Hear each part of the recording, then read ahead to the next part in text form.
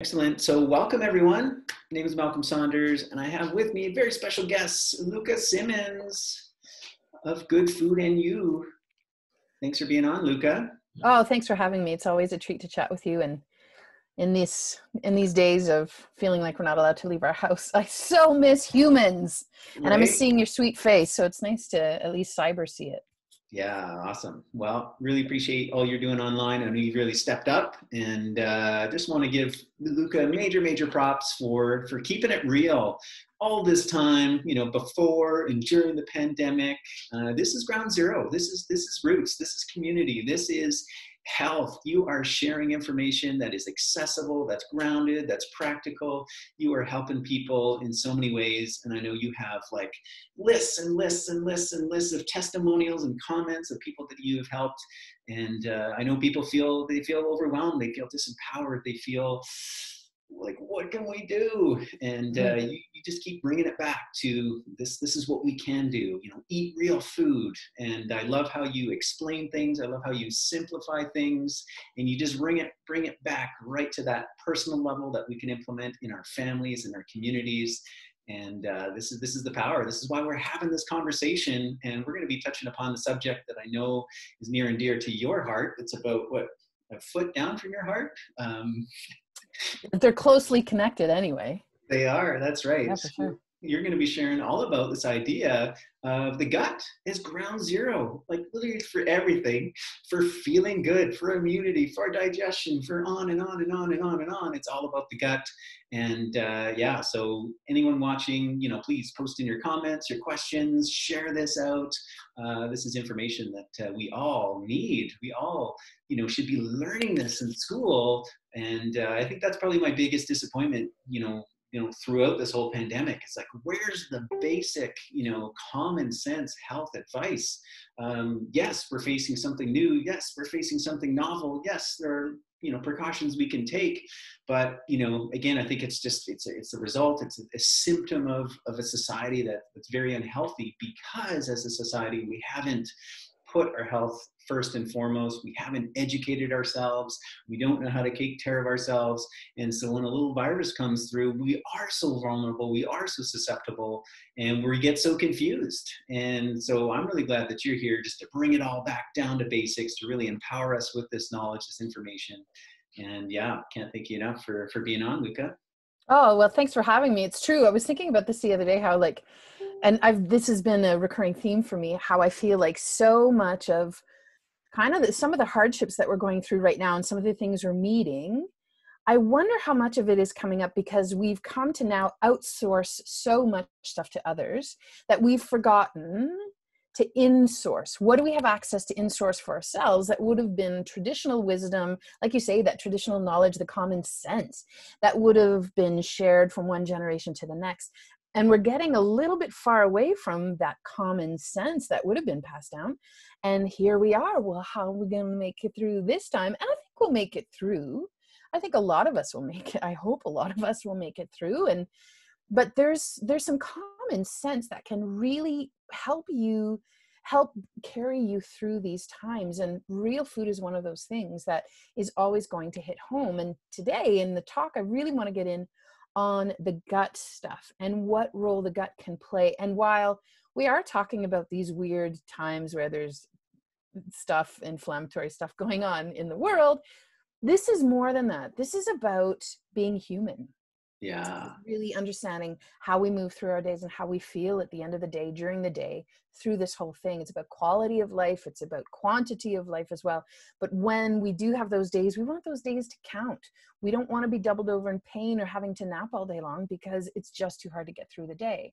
And the gut really does play that ground zero role. So i've got shall i start the slideshow yeah, and, and I think you and I, we could have a whole conversation. I love that idea around outsourcing versus insourcing. I mean, there's, I've read many articles and it's been pretty obvious. And even talking to uh, Danny Vitalis when we did the whole community immunity series, which you were a part of, um, you know, there's so many systems. So, you know, Daniel had said, he's like, you know, when, when we know, all of us have been saying in the back of our back of our head like you know our way of life isn't really sustainable. And and, it, and if you truly believe that that means at some point it's got to stop right? There has to be a shift. There has to be a change. And kind of like how we're talking about with our health you know on that broader scale like we have so many systems set up that aren't actually truly sustainable. We've outsourced so much and there's been so much conversation around like oh supply chains like wow manufacturing like wow you know here's something we didn't thought of.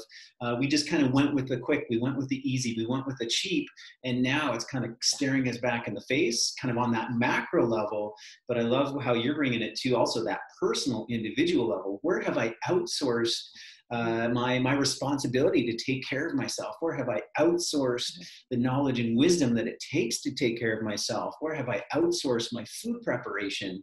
And you know when i talk about you know shifting that this is the place to start. This is ground zero. This conversation is mm-hmm. insourcing right? Beginning with those things that are just so close to us like okay preparing food growing food you know understanding how my body works uh, you know doesn't have to be on this crazy scientific level. I love how you phrased it common sense. There's basic knowledge basic wisdom that you know can we can escape all the kind of medical scientific jargon. Not that that doesn't have a place, that has a place for certain people, but for you and I, and for those that are watching, let's bring it back to that ground zero, that basic level, the common sense, uh, you know, the, the folk wisdom, the folk medicine, the understanding of, of cultures and people.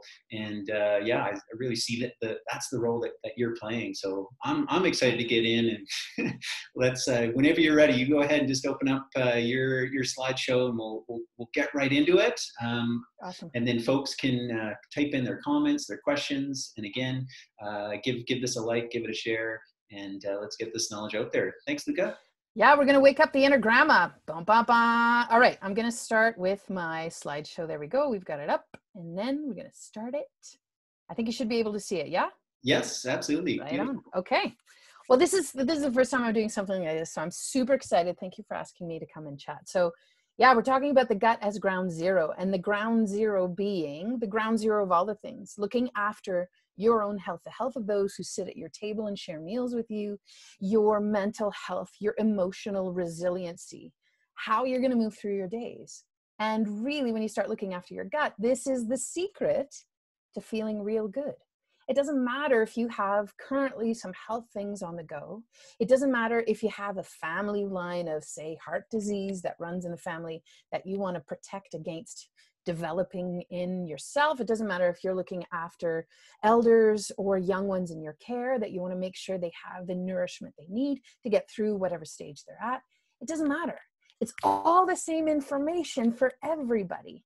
Looking after your gut is that one single common piece that is applicable to all humans, regardless if you're looking to prevent or move through a chronic disease with better ease, or if you're nourishing somebody that you love and care for. The gut is really that ground zero. So we're going to get into it. I'm going to start with a really super sobering statistic. Don't get so sad but just to bring it all home. First of all, 44, this is a statistic from the Public Health Agency of Canada. Fairly recent, came out in December last year. Super interesting. There's a lot of noise in my background. Everyone's in the house. We like, sorry if there's a dog barking and coffee. No, we, we can't hear it. We're right here. Okay. We're focused. And in this, I mean, this statistic, like that should be shocking. This, this is really what we should be addressing. I know. Okay, but wait, wait till you hear this. Okay, so the stat that I first read, it was in Alberta Views magazine. Great magazine, by the way uh, Calgarian, who's the editor of it. Yay! Uh, Bownesian, no less. 44% of Canadians over the age of 20 have at least one chronic health condition diagnosis. So before you read anymore, first, that's like half of our adult population Canada. Almost half have at least one. Not, not just one, but maybe two or three or four. Okay. First thing. Okay. So also, what? And why is that okay? But more than that, when I went to go digging to find out the information behind the statistic, I wanted to know a little bit more. What does that mean? What is the implication of this? And when I did the research, the number of 44% is only 44% of Canadian adults that have at least one chronic health condition of the top 10 most common ones. Oh, wow. So, number 11 to 74 they're not represented in that 44%. Wow. So first things first, I just want to underline the what the bleep sentiment that when you read this stat, how is this okay? Who has allowed this? Why is this something that nobody is sounding an alarm on? And boy, oh boy, I'm going to sound the alarm, honey pies. Chronic health conditions, what does that mean? Well, it means something that's taken a while for it to show up and it kind of creeps up bit by bit by bit and starts to impact your days and how you move through your days, your quality of life. It can impact different things as well, like sleep or digestion or mood stuff. It can also be really obvious things like cardiovascular disease or cancer, those types of things. So when we're talking about over half of our adult, almost half of our adult population has at least one of the top 10 most common chronic disease diagnoses. It's time to do something about it. I'm not okay with this number. So let's get into it. So we're going to start with a story about this little kiddo. Oh, come on. Oh, what a cutie. What a cutie. I sure was. That was my dad asking me. My dad took my, that photo of me and he said, Could you stop being so silly? Because I always made funny faces. And so that was me trying to be serious. I remember that day too. Luka, I'm so glad your playful side, you know, has not been tamed. oh, child number three or four, you got to be loud to be noticed. anyway, this is me. This is 11 year old Luka, and it was shortly thereafter that stuff started to show up for me. So, age of 12, I was actually anorexic. well, eh, I mean, that's a whole other story, but let's not get into it. Age of 13, I get my first period, and my menstrual cycle stops me at least one or two days a month in so much pain I'm on prescription medication, and even that can barely touch it. I have to take one or two days off every month for the next 15 years of my life. Get to the age of 18 and I have carpal tunnel syndrome where my hands go numb. Get to the age of 20 and I start having migraines where I black out. Huh. Age of 22, diagnosis in one 20 minute session with a psychologist. I got five diagnoses PTSD, bipolar, OCD, uh, generalized anxiety disorder, and there was another one I can't even remember. So start medication for that and start having a bit of an easier time. I woke up uh, feeling like there was a purple praying mantis coming out of my chest. It was terrifying and it was awful and it was situational based on a really stressful work environment, of which I got out of pretty quickly and helped rectify some of those things. But move along, and I have a gastric ulcer at in my late 20s, 28 uh, and then uh, have my kiddo at the age of 32 get into the next slide. About that age then that one on the right shows up in my life super cutie eliza. And as she starts to age i have a little bit more of stuff showing up. So now uh, I have chronic pain showing up that is starting to really limit. In the age of 40, I start talking about knee replacement surgery with my husband because going upstairs is getting to be too difficult. My chronic pain levels in my hands prevented me from being able to prepare the foods I was making in my work life. I was making lunches for kids at that point in my life, and I was having a hard time holding the knife because I had so much chronic pain. It was waking me up in the night. And all of these things, you know, one thing after another fertility issues thrown in there, depression as part of the picture, absolutely, and anxiety throughout all of these years.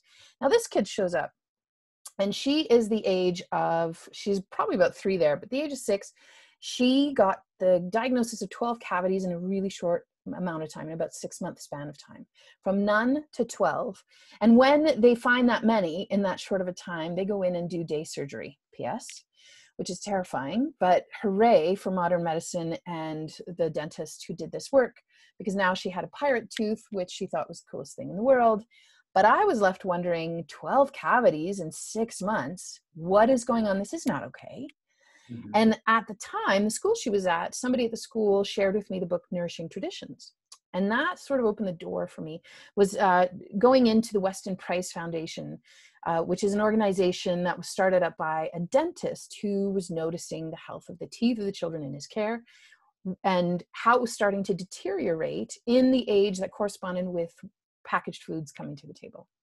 And he would do some travel as he got later on in his practice, and he would check the teeth of kids in other places of the world where they were still eating their traditional diets. And he would see that their teeth were perfectly fine. Why were the teeth in America starting to rot with the advent of all of these foods and a lot of affluence? Why were those teeth rotting? And the teeth of those who are eating the traditional foods diet of real food from scratch. What's happening? And tying those two things together. So this opened up yet another door for me to understand that power of food. So it was through my kiddo. Do they not bring us gifts all the time? I will never be able to repay her for the gifts she brings. But they, she started that meandering road for me to try to put pieces in place and do my own sleuthing to understand again how much I could insource some of that work to support her to be able to grow up so she wouldn't have dentures at the age of 14. P.S. She's now 15. She hasn't had a cavity since those 12 that showed up when she was 6 mm-hmm. So we're doing something right. Like, mm.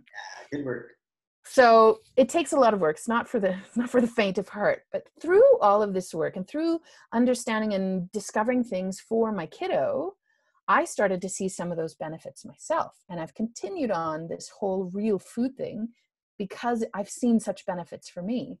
And over the years since introducing some of the things i did initially for eliza but then putting it in for myself. Some of those main points were, and this is all from the Weston Price Foundation, was about improving the quality of foods. So understanding that if you source foods from certain ways that animals are raised or plants are grown or harvested or uh, packaged or prepared, that can make a difference reducing your reliance on packaged foods and really going to from scratch. If you would have asked me 10 years ago if I did from scratch, I would say, yeah, I make butter chicken from scratch.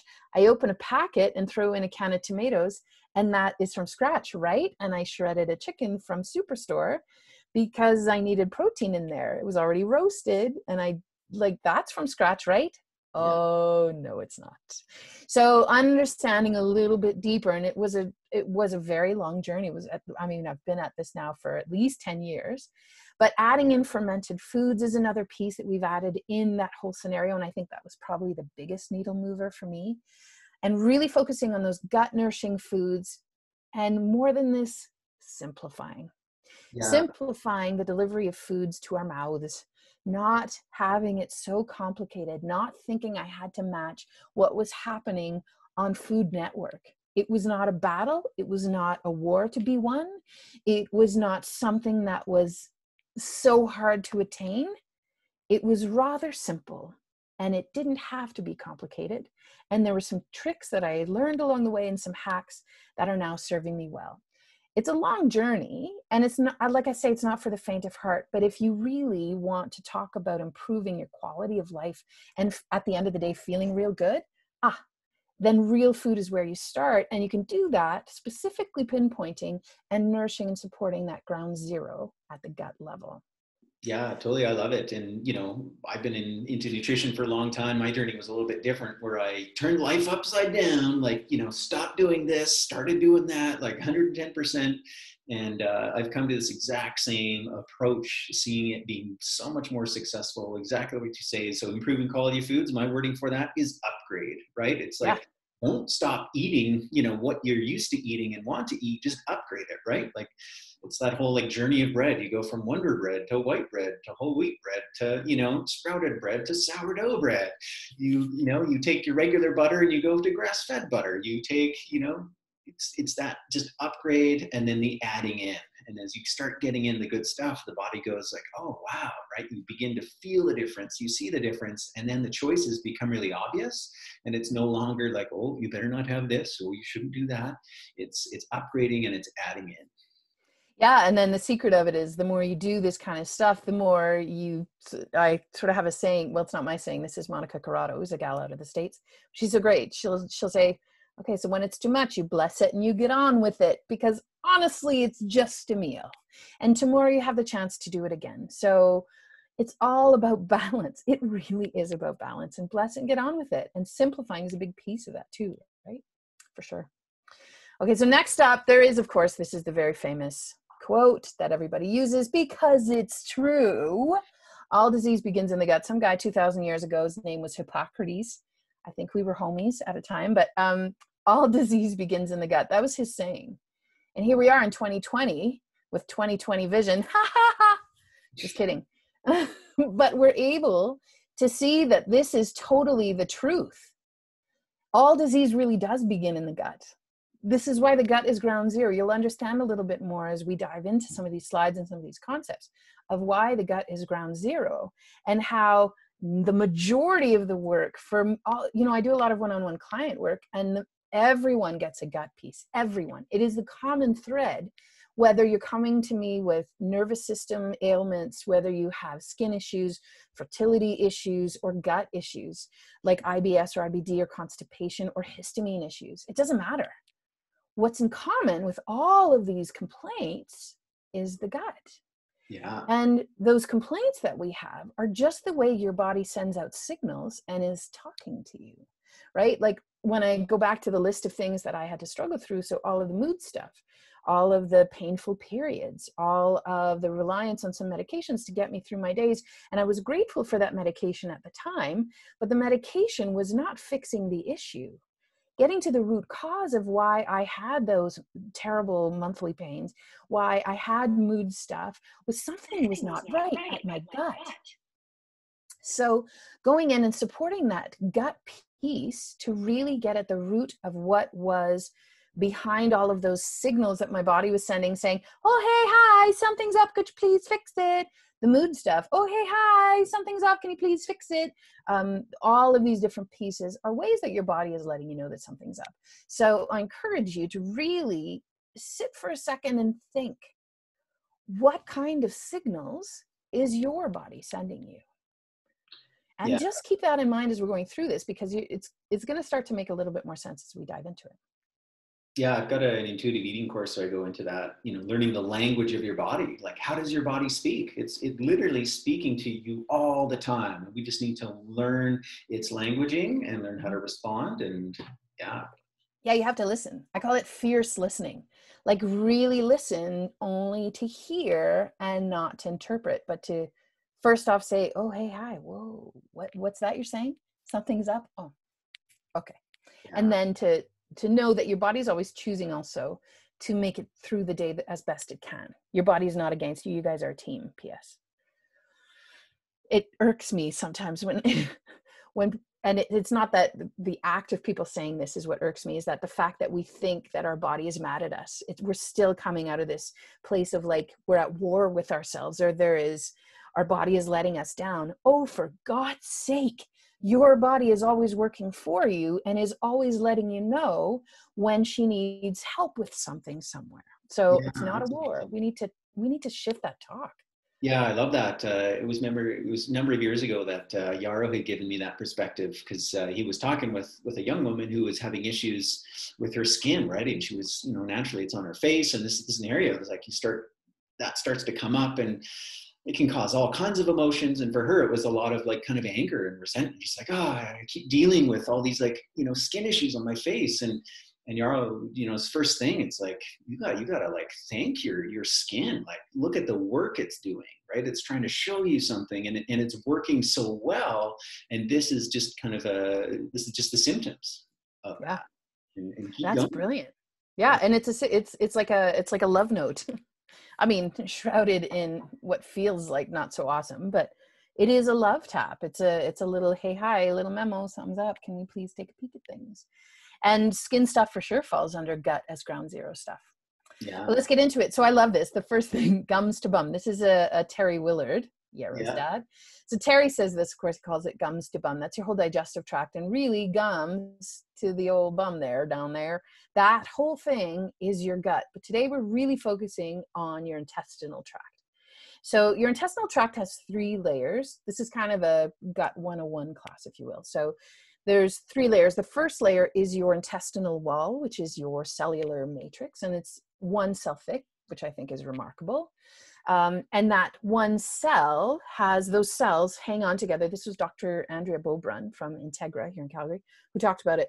And I thought this makes so much sense. The cells are hanging on like this and they're nice and tight, hopefully hanging on to each other. The junctions should be tight. When these are tight, this cell level makes a couple of things, one of which is some enzymes that you need to break down histamines, that you need to break down carbohydrates, that you need to break down lactose, that you need to finish breaking other foods down, what have you. There's also, in this first layer, lives a secondary layer, and this is your mucosal barrier. So if you take your tongue and you run it inside along the inside of your cheek and it's kind of sloppy and wet and gooey, that's exactly the same thing that's happening in your gut. You've got that mucosal barrier as a secondary layer living right on top of the skin. On top of that lives that third layer, and that third layer is your microbiome. And so that microbiome, everyone has it, and it's this super relatively newly discovered thing that has actually been there for a long time and it's just a long lost, forgotten organ for all intents and purposes. But this microbiome has such a big part to play in so many different facets of how the body functions in your metabolic function and in the function of your nervous system and your gut as well and digestion. It's got a really big role to play in a lot of things. So your microbiome, on average, everybody has four to six pounds in your gut at all times, which is tremendous to me. Like that's amazing. That's like think of four to six pounds of butter, blocks of butter. That's how much is in your gut. Wow. That's amazing. And it's always replenishing. So you're letting some go every time you go to the bathroom, but 60% of your poop is actually bacteria. So you're having to turn that over all the time. So that's turned over by the foods that you eat, by what's happening at the gut level, and the ways that you're interacting with your environment, what kinds of cleaners you've got, your food choices, how they're prepared. There's a lot that has a say in what's happening at the microbiome. And really, there's a microbiome everywhere in your body. Like we are outnumbered 10 bacterial cells for every one human cell. So you're basically a bag of bugs walking around, which is amazing. But if you think about it, so you know, there's 10 bacterial cells for every one human cell. You might then ask, okay, well, how come I can't see them? Well, a bacteria is the size of a pin, and the human cell is the size of a three story mansion.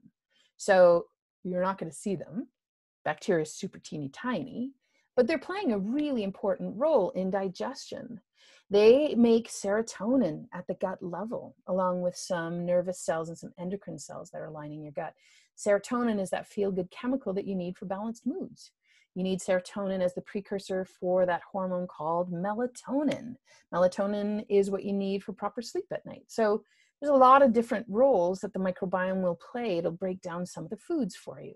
It will free up some of the vitamins and minerals that you need from your foods. There's there's so much. It turns cancer markers on and t- cancer markers off at the cellular level. It teaches your immune system, these are my cells and these are not my cells. So we're just really now in the last 20 years or so uncovering how much the microbiome has a, a, role to play in our everyday function and our overall health. And we're really just like it's like an iceberg. We've only done the top.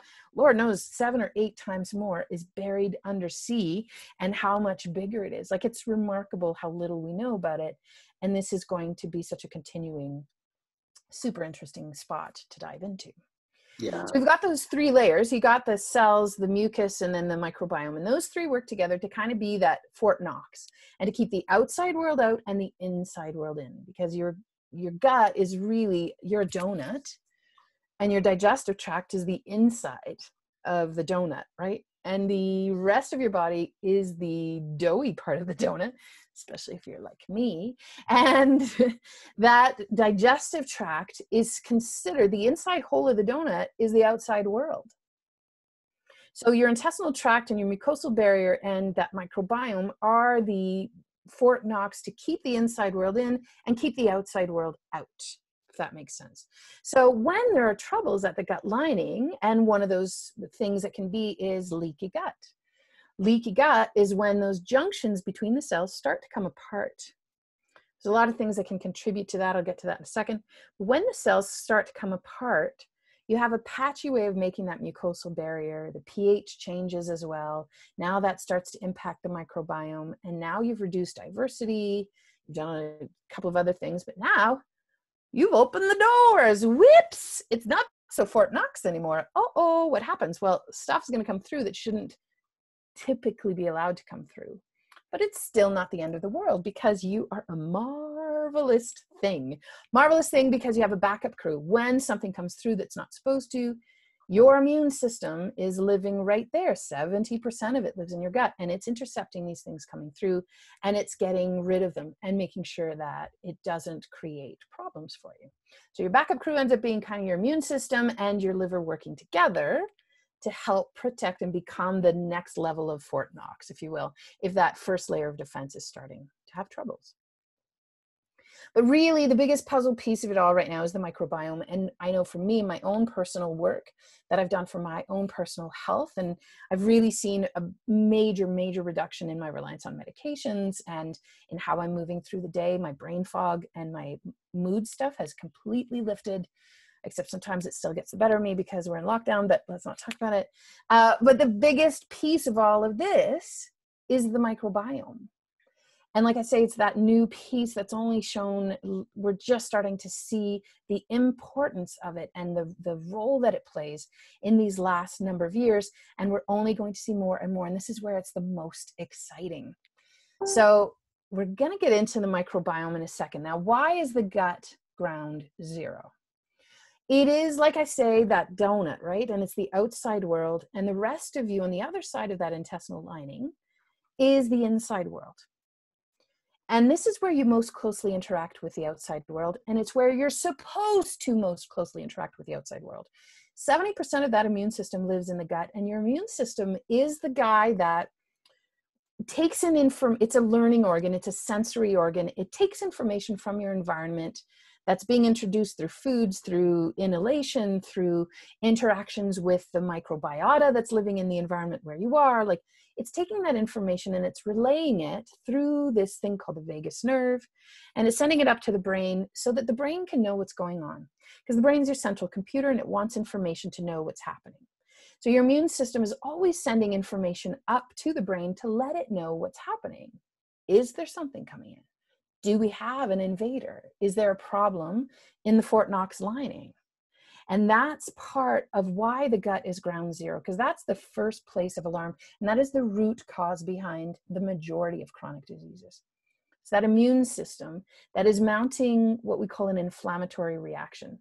So talk, I talk a lot about inflammation all the time. And it's because you know, this type of chronic low grade inflammation is what's at the root of type 2 diabetes, cardiovascular disease, mood stuff, anxiety stuff, um, the degenerative diseases like ALS, Parkinson's, uh, the stuff like chronic fatigue syndrome, fibromyalgia, they all have an inflammatory component to this. We're looking into things like ADHD and um, uh, even dyslexia, interestingly enough, has an inflammatory component to it. Stuff like the autoimmune disorders has low grade chronic inflammation at the root of it all. But why? Well, your immune system mounts that inflammatory reaction as a protective mechanism because she wants you to live. For God's sake, inflammation is your body responding to the problem? It's the fire department coming to put the fire out and putting all of its tools in place to help put out the fire. And it is that immune system that's going to do that response to anything it perceives as an irritant. Well, what's an irritant? Foods you haven't properly digested. Food like substances that you ate that now contributed to pushing the junctions between the cells apart. So things like emulsifiers and preservatives in some of our packaged foods, they're the biggest offenders of this. They will contribute to pushing the cells apart. And they are now at that ground zero level creating that inflammatory reaction right there at the gut lining. And now this has repercussions outwards. Because this inflammatory reaction now ties up your immune system, sends a message to the brain that we're under attack, and now your body's moving through the world as if everything is awful and terrible and it needs to protect you. Well i don't know if it tell, says that everything is awful and terrible but it says there's a problem breach at level zero can we please attend to this? And so now your immune system comes in to help put things in place to keep you safe and to help continue to keep the outside world out and the inside world in and again, your immune system really is that sensory and a super learning organ that's always taking in information from the outside world and your environment in order to understand what's happening so as to better mitigate and figure out what can be its plan of action. Not plan of attack, plan of action, because it's not a war, guys. Okay, I am talking a little bit warlike. But getting into, okay, so that's nice. Now that you get what the gut is and sort of the different components of it and why the immune system and that inflammatory reaction is part of it, why still don't get it? Why is the gut ground zero? for all of the things. Well, let's get into it. So, mood disorders we'll start first because that one I know very well. When you have a hard time with your microbiome at that gut level, you have a hard time making serotonin. And we make it out of a molecule called tryptophan. Tryptophan is an amino acid, actually. It's a protein, smallest building block of protein. You'll find it in all meats. You'll find it in a lot of nuts and seeds and dairy products. You know, the whole turkey thing where everybody has a nap after turkey dinner at Thanksgiving, totally tied to tryptophan, which is the funny story that everybody knows. But that tryptophan is converted into serotonin by the microbiome, so the bugs of your gut, in conjunction with cells that line your intestinal tract.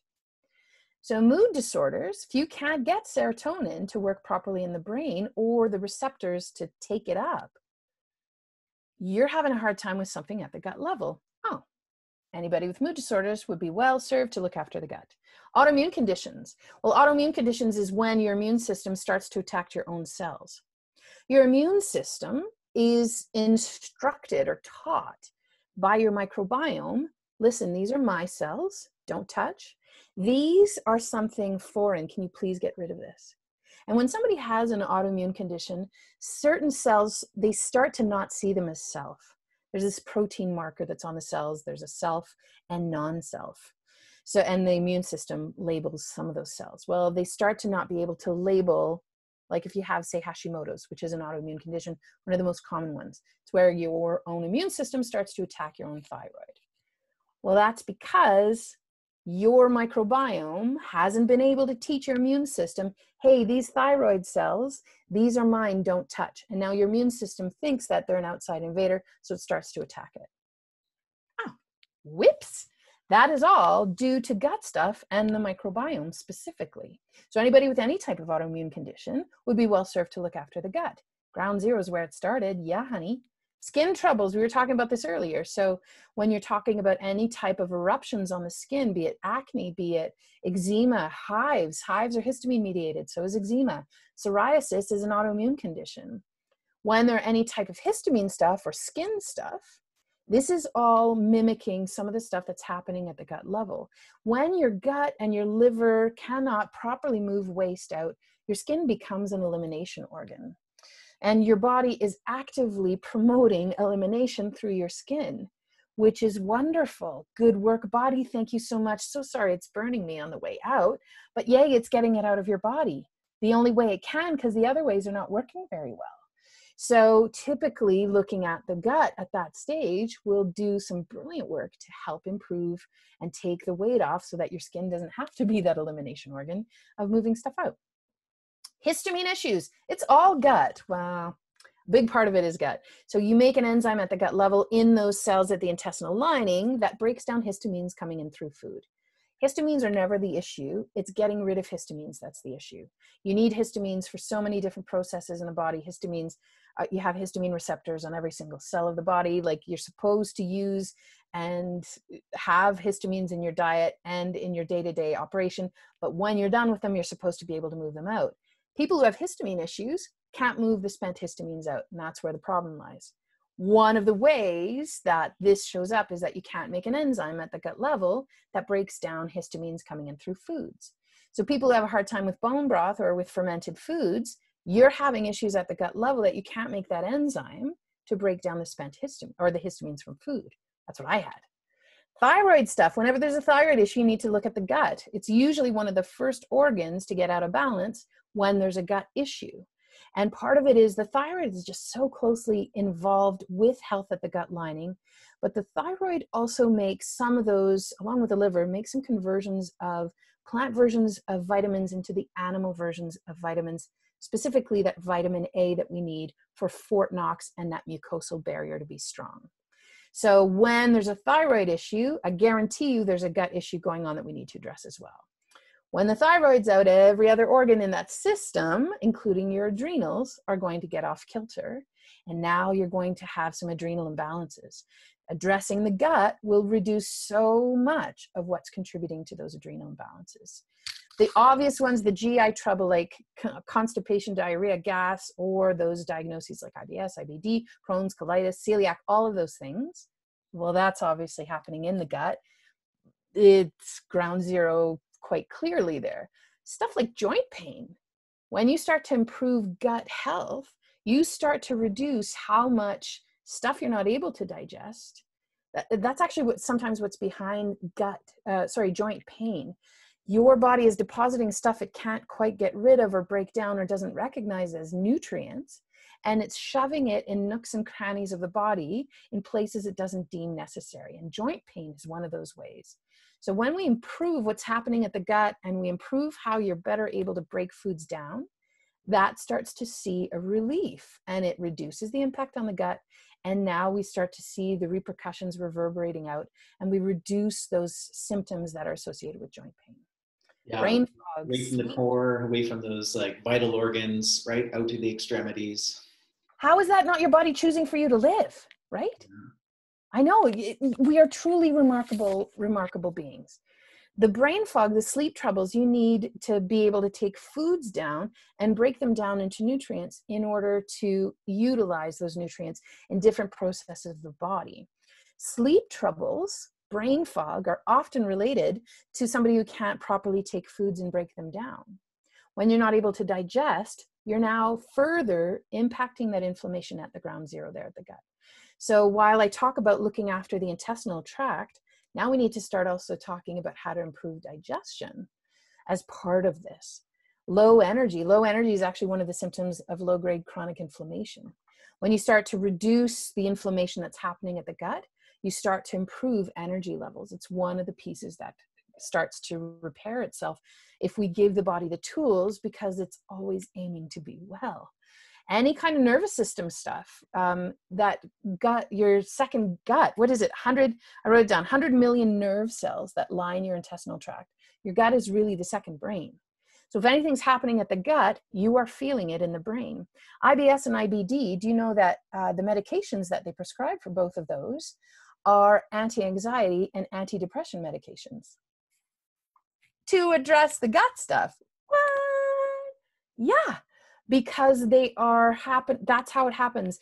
In the brain it shows up as anxiety. In the gut it shows up as diarrhea.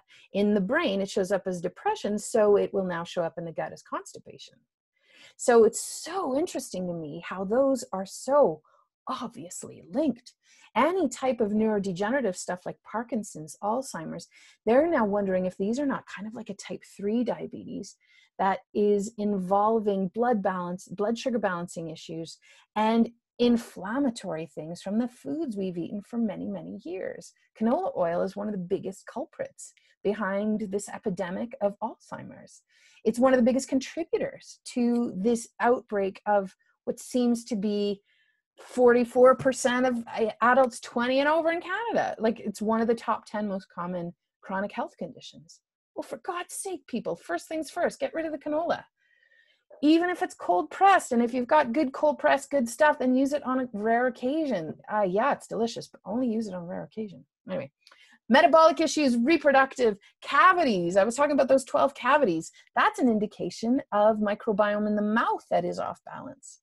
So when your body is sending you some of these signals, when she is talking to you, what kinds of things is she saying? And can we start to instead of getting mad at our body or thinking that we need to quiet those symptoms what's our body trying to tell us? Let's really listen to what those signals are and then let's be proactive about insourcing some of those practical things that we can tend to and looking after the gut is really going to be place number one. And it's the one thing that's common for anybody uh, with any type of health complaint that they've got on the go, whether it's cardiovascular, asthma, COPD, cancer, it doesn't matter, all of these things. This, this slide was just absolutely incredible, like mind blowing, really. Like to go through condition after condition after condition and, and bring it all around to the gut. It's all gut. Yeah, like bravo, amazing. Thank oh, you. Thanks. Oh, yeah, yeah, yeah. Okay, so I have two questions for you. First one Is your body talking to you? Is she speaking in whispers, or maybe she's using her outside voice? and think about it, like really, truly think about it. I remember for 25 years thinking how I had such a defective body and why was I 95 years old in a 27 year old's body? And I remember thinking I got so shortchanged in my life, similar to the story you're talking about, Yarrow, with a woman who had skin troubles on her face. I felt like it was super life limiting and I couldn't, you know, I'm at the stage where I broke my knee a number of years ago and I can't join my family on bicycles. And I think it's so easy for me in this current day and age to go, well, that's not fair and it's not right. And how come me? Yeah, absolutely. That is part of the grieving process, sure. I don't feel comfortable sitting in that. What if I take a 180? And I often share this with clients. What if you see it this way? You take a step back and you walk around to the other position and you come at it from a 180 degree perspective difference. What if instead that your body is mad at you or is trying to limit you or you deserve this? What if your body is actually talking to you? What if your body was actually asking for a change? And every time I talk about this, I have hairs that raise. And if I hadn't have had that epiphany where I needed to change my relationship to my own body and take that step out, come back 180 and look at it from the other point of view, I would probably not be as well as I am I would probably be angry at the world, which would certainly not serve anybody, and even less myself, and even less than that, my sweet kiddo. So I'm going to ask you is your body talking to you? And is she using whispers or is she using her outside voice? okay, that's nice. But now what do we do, Luka? Okay, so let's start because let's be practical. First off, tell jokes. Second off, get into one of the three things you can do. We're just starting with some of the three things because I have a full program actually that we're actually launching next week. We're doing a two week gut loving crash course. It's a whole group online coaching thing that I'm starting on Monday. We'll talk about that maybe at the end, but these are some of the places you can start today. First things first, if you're eating grains or nuts or beans or seeds or legumes, you can start by choosing sprouted. So, uh, or sourdough. I would add sourdough in that list. The reason is these grains that we're eating whole grains we're told for such a long time to eat whole grains. They're so healthy for you. They're full of b vitamins blah blah the fiber yada yada. Great except whips. That's what i was feeding my kid before she had her 12 cavities.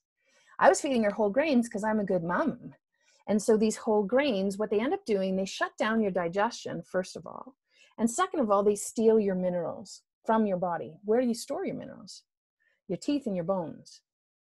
If you do that simple switch of just going to a sprouted version of brown rice instead of regular brown rice, if you do the simple switch of buying a true sourdough bread, you'll know it's true sourdough because yeast is not on the ingredients.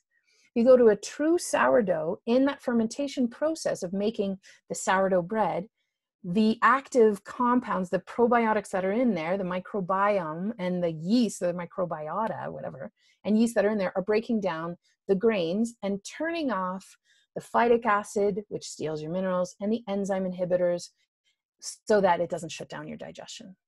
So it's a simple first step. Look for sprouted nuts and beans in the coolers of some health food stores. I know the Light Cellar has some stuff as well. Do you guys have sprouted nuts at all? we got uh, all the raw nuts, so which you can sprout, ferment, roast, whatever you want to do with. We have a sprouted almond butter. Yeah. See, which is amazing. So when if you're consuming a lot of whole grains or a lot of if you're a regular almond butter person, if you go the sprouted route, now you're actually going to be supporting your own digestive fire instead of shutting it down. Going it, it, having that sprouted version will just support the whole digestive process and help maintain your mineral stores so you don't have to lose them yeah good work. The second piece you can also learn how to sprout yourself ps which i'll do a class at some point. The second piece is you can eat real food.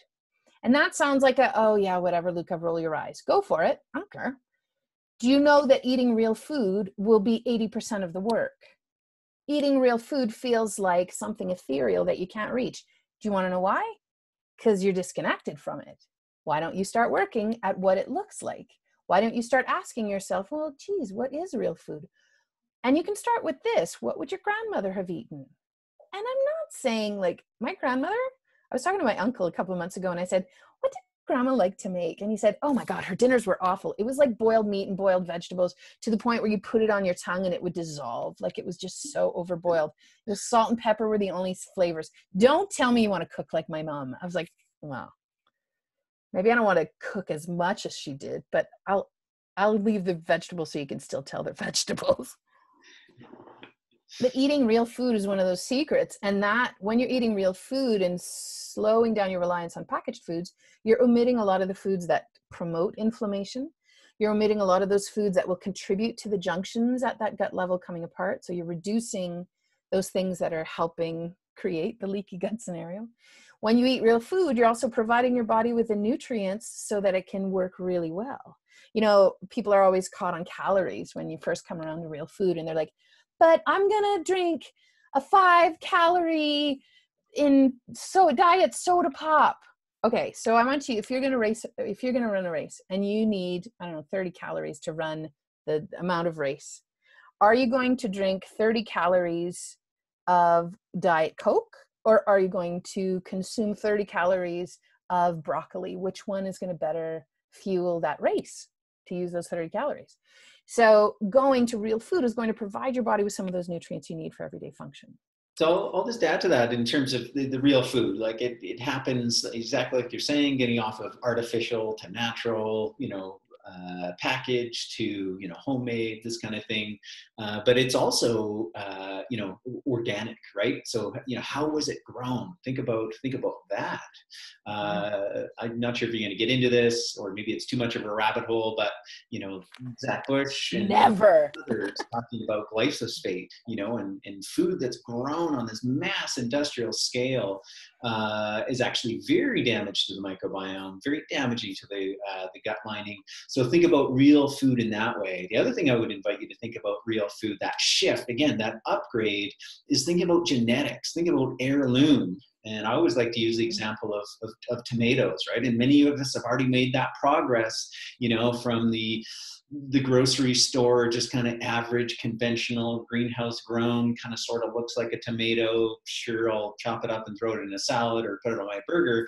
But you know, making that shift to organic, to uh, biodynamic, you know, farmers market, you know, like where it's it's literally real food, uh, and it's in the genetics, and it's in, in it's how it's grown, and it's in it's that journey, that upgrade, uh, continually with all our foods. How can we get to that more real state?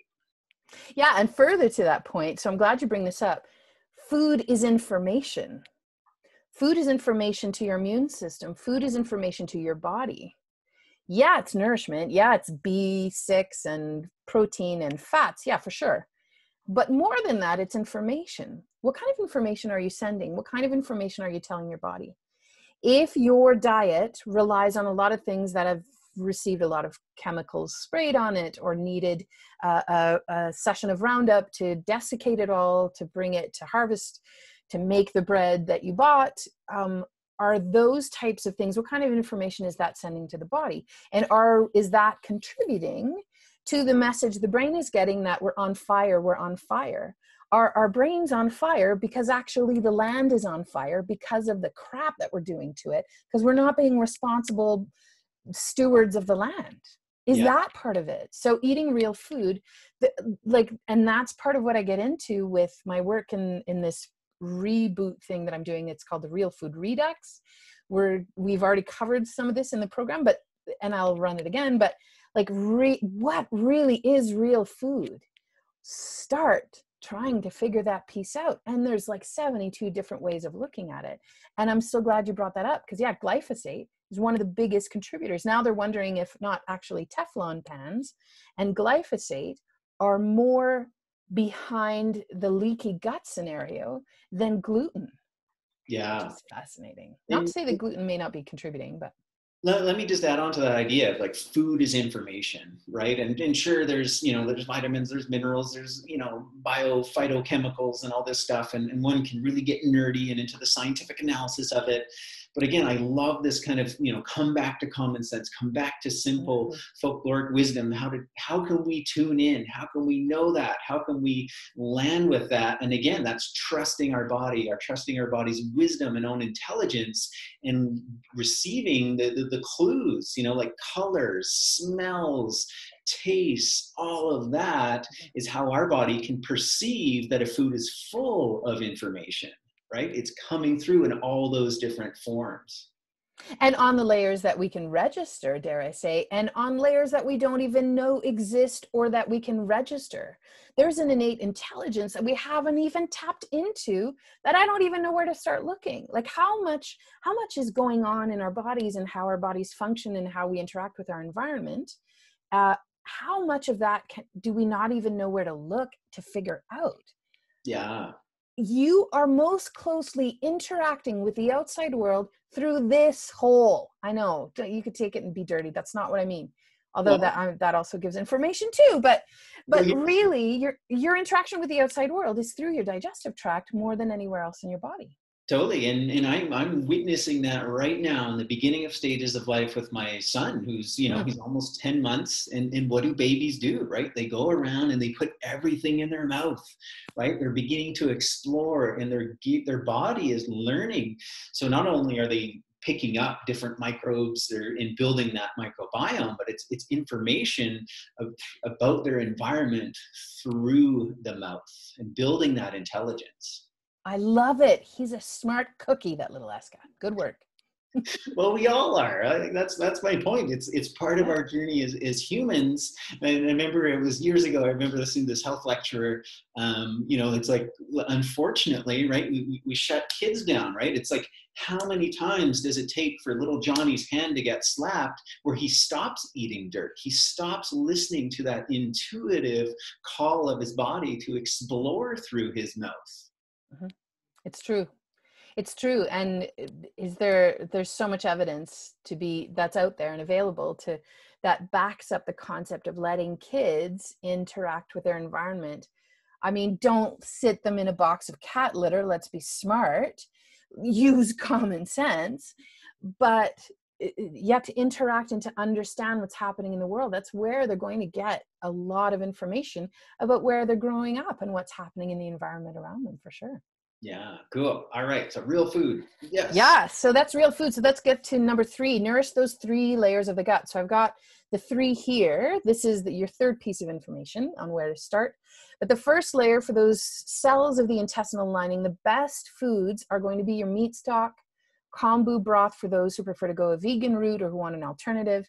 Collagen and gelatin added to drinks can also be really beneficial.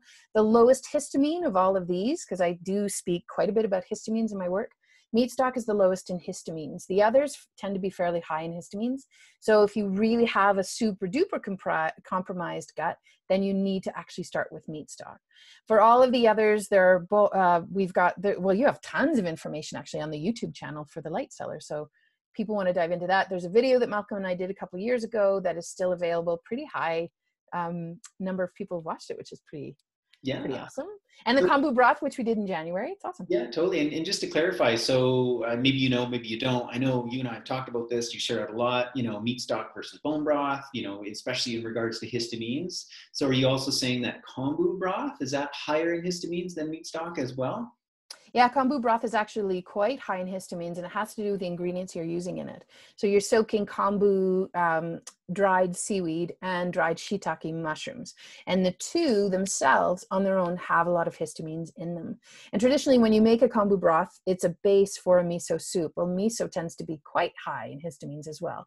So I personally cannot handle kombu broth at all. And that's uh, first case like I, I've I've realized that from my own experimentation that something and done the research afterwards that seaweed is actually quite high in histamines, as are shiitake mushrooms. So for somebody who has quite a compromised gut, then you need to start considering doing a meat stock version first, and then moving on to as you do some of that early repair so that you can now help the cells come back together so you can better make that enzyme that an enzyme is just a chemical scissor to break down histamines coming in through foods once you do that initial work now you can have the kombu broth you can have the collagen you can do the gelatin because now you can make the enzyme and now you, the foods coming through the digestive tract are not contributing to the rain coming in the rainbow and to the histamine issues.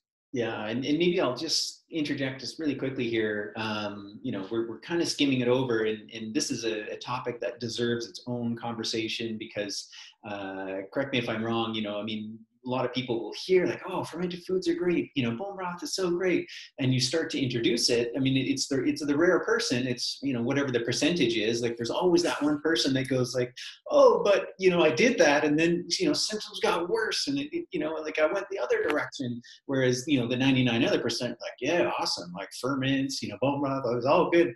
So if you're that person, um, definitely reach out to Luka. She's got a program for you. You can go down that rabbit hole. Uh, very likely could be a histamine issue. It's it's you know it's about this much of, of information beyond what we're going to get into today. But if that's kind of a thought or a trigger for you, uh, just know that that's a whole other rabbit hole uh, that Luke has got a lot of experience with, and, and really does help people sort that out and then move forward in, in the way she's going to keep explaining.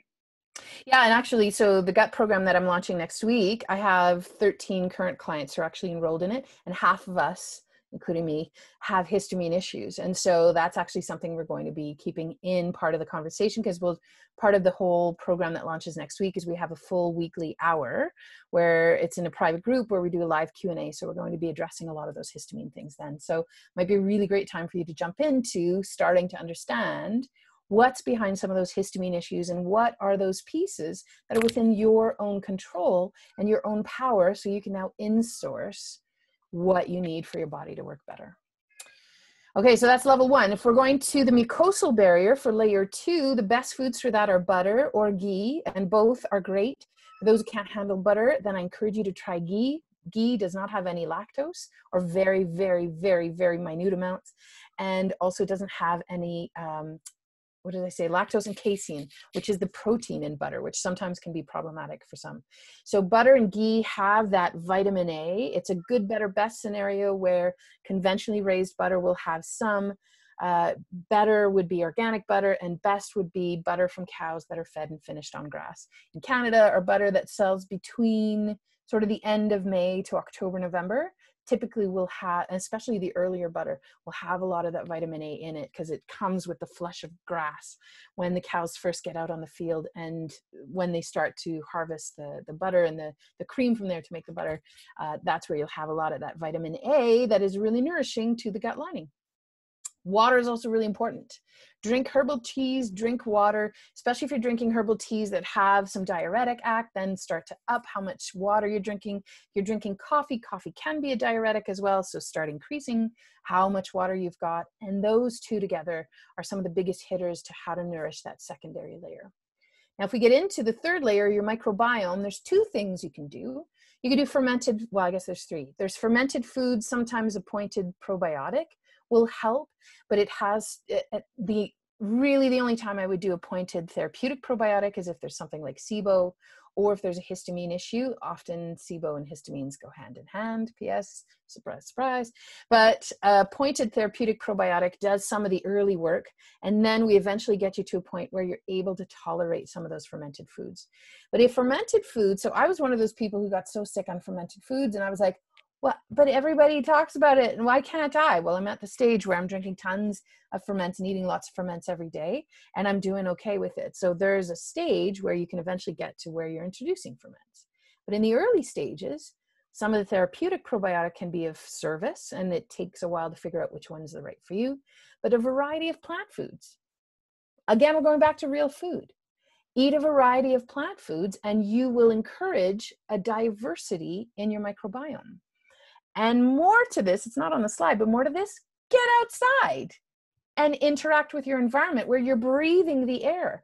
There is information that starts to influence your microbiome based on whatever's happening in that environment. We were talking about this when we did the, the, the immunity series back in March when all of this was starting to show up we were talking about you have to get out to different environments. The the biome that lives in the area down by the bow river is very different here in calgary than what's living at the top of nose hill park. So get to both areas and you'll start to introduce a bit of variety. Get your 10 month old playing with a pot of soil that comes from the garden sitting on the back deck like you were today. So those kinds of things where you're interacting with your environment and you are immersing yourself in that environment and you're also encouraging a variety of different kinds of vegetables, plants, fruits, grains, nuts, beans, seeds, all the plant foods under the planet. Um, olive oil is great to enhance different types of bacteria at the gut level. Butter helps with it too. Like, I mean, I'm focusing on plant foods because that's one of the biggest movers, but just in sheer variety, that'll do such a great job in helping to enhance what's happening. But first, look after helping to heal and seal the gut, and then do the other layers as you go on. And those are three of the first beginning stages, I would say. Awesome. And I'll, I'll, just add, obviously, that variety of, of plant foods uh, nourishing you with all its phytochemicals, all its information, but also is nourishing your microbiome with those, those mm-hmm. prebiotics, right? Those mm-hmm. fibers. Yeah. The food, so the probiotics eat the prebiotics. What are prebiotics? Plant food. Uh, fiber, different kinds of fiber, phytonutrients, phytochemicals, sure. Plants. If you are eating plants, you're good do you need to eat benefiber? Not if you're eating regular plants. If you really want to get a really high kick of fiber, then start introducing lentils, super awesome fiber. Have lots of squash in your life. Eat a variety of different kinds of vegetables. Cabbage, super high fiber. Like bring on the real food. Benefiber is going to be like skipping the sprouting stage. Benefiber is sure high fiber, but it's not activated. So it's actually going to turn off your digestion and steal your body from minerals. So again, go with real food, which is not a popular opinion. I know people want a pill, too bad. So what, what did you call this? Benefiber? Yeah, or Metamucil or oh, like the, yeah, you know what I mean? Yeah, like yeah. the package, I'll take this and it'll improve my poops. Yeah. Yeah. Well, if you do that for 30 years and then you get off it and then you can't uh, function without it. Yeah. Cause you just enhance certain bacteria to live with that around. So there is a very slow, methodical piece that we have to do to get you off of something like that to move you towards real food. It's not just night and day go from taking a powder that you put into the water and down. There's, you know, chia seeds. We can introduce chia pudding. We'll do some gut repair stuff because that type of fiber is actually quite abrasive and contributes to the leaky gut component. Like, yeah, there's other things we can do. So, all to say, the time to repair the roof is when the sun is shining, which I love. Look after things. How is your body speaking? Is she speaking to you in hushed tones or she using a loud voice right now? And when's the best time to start looking after some of this stuff? Probably yesterday. When's the second best time? Right now. How about it yeah that's saying about planting a garden planting a tree when's the best time yesterday well today okay i'll get to it it's the second best time today yeah totally yeah. and also oh my gosh no one's getting out alive so like do what you can and then bless get on with it right but yeah, loving up your guts so you can feel real good. That's where it's at. That's why your gut is ground zero. And it is the one piece that is common with everyone that I'm seeing in my practice. We used to joke about this in when I was in nutrition school. I don't know if you got this too, but when we have our case studies, then our instructors would always say, Well, where are you going to start? And we were always thinking we had to look for something specific. And as you got through the majority of the school year, you started to realize that the answer is always going to be the same. You start at the gut so let's start there. Yeah, awesome. There you go. So cool. if you want to feel real good, love up your guts, babies. Yeah, right on. Well, that was amazing. That was like fantastic. I know we went a little bit uh, over time, but hey, I mean, it was all just a just a gem of information. I love how you simplified it. Love how you brought it right back down to, you know, like like in nutrition school, you realize, okay, it's all about the gut. Well, let's start there and let's start working out uh, this in-sourcing. Love it. Thank you so much, yeah. Luka. Thanks for uh, having me. Yeah, totally. So let folks know how they can connect with you. I know we, you were mentioning about a program you have coming up. You're developing all these online courses uh, that folks can really get deeper into this information, more the practical, okay, what does that look like in the kitchen? You've got so many resources. Let us know. I do. So you can see my website there. It's just my name, lukasymons.com. Through there, you'll be able to find a lot. When you first land on that first page, there's a wait list. And that wait list is how I am. You can save your spot for that two week gut crash course that I've got going next week. It's also the wait list that is going to be for a meal planning and batch prep two week crash course we're doing in June, starts June 15th. And that's all online. They're both two weeks in length. It's a group program. So there's about hopefully 20 to 30 of us, a fairly good number of groups you can get discussions going, but not too overwhelming that there's too many people with too many questions. So it's a really nice number to keep it real and to keep it accessible, where you get two modules, half hour a week, plus a one hour session where we sit down. There's daily prompts going on and lots of conversations back and forth, recipes at every turn, because if this is nothing else but delicious, well, I'm doing my job right. So that's one of the pieces. The other piece is that I also see clients one on one. So if you're struggling with trying to figure out, well, should I do one of the canned classes you have? Should I maybe do the gut crash course or should I see you one on one? I don't know which one to choose. Well, I'll make it really easy for you. In the comments below, after we're done the live, I'll, I'll pop it in there. But you can find my free 15 minute discovery call. I spoke with a gal this morning. She wasn't sure where to start, but she knew she had histamine troubles. Well, we figured out okay, here could this roadmap look like for you? Where are you at time wise and financially? And let's put something in place so you can have whatever level you're at to put those pieces in place to support you. So I have tons of free stuff all the way up to taking a 12 week program that you can take. Uh, down the line, I'm going to do a private coaching group to do histamine stuff. So there's lots of stuff on that's in the works right now, but the available stuff is that two week gut class, a two week batch prep and meal planning class that's coming in June, and then those individual canned classes. There's a histamine, a gut, liver one, um, inflammation one, lots of stuff up online. So all of it's available through my website, lukasymons.com. And then I'm always talking about it in my newsletter and social media. So follow those, connect with those. Yeah. Yeah, definitely. Give her a follow here on Facebook and on Instagram. And uh, like I say, I mean, you know, we've been working together for years. Love, love, love the information you share, love the approach, the funness, the playfulness that you bring to everything. And you really do. You've just got, you know, testimonial after testimonial after testimonial of people that you've really helped. This is this this is the work. This is uh, at the community level, at the personal level, family level of how we're we're changing the world and we're we're proactively making things better. I want to thank you for being on. Thanks to everyone that was watching. Uh, Luka will hop on to the comments myself as well. We'll uh, we'll get to the, any of those if anybody's got any questions. But uh, please share it out. I mean, this this is really important information. I was totally blown away uh, by this, and uh, yeah, thanks again, Luka. In source, baby. That's right. All right. Thanks, Malcolm. Yeah. Bye bye.